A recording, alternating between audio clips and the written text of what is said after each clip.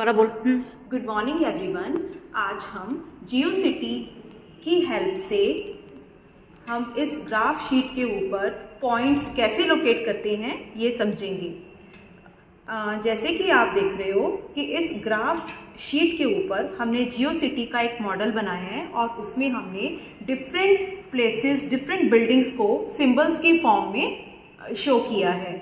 तो जैसे अगर हम बच्चों से ये क्वेश्चन करते हैं कि what is the location of school in this geo city तो जो स्टूडेंट्स हैं वो पहले, सबसे पहले जो स्कूल का सिंबल है वो देखेंगे। इट इज़ एस और फिर ग्राफ शीट के ऊपर एस पॉइंट को लोकेट करने की कोशिश करेंगे। जैसे एस पॉइंट यहाँ पे शो हो रहा है तो यहाँ पे जो स्टूडेंट है वो देखेगा कि यहाँ पे एक्स की जो वैल्यू है वो टू है और वाई एक्सिस की तरफ़ जो वैल्यू बन रही है वो भी टू है। तो it's coordinate is two comma two तो इस तरीके से डिफरेंट जो बिल्डिंग्स हैं, उनके लोकेशंस के ऊपर डिफरेंट टाइप के क्वेश्चंस बच्चों से पूछे जाएँगे और जो स्टूडेंट्स हैं वो इनको आंसर करेंगे।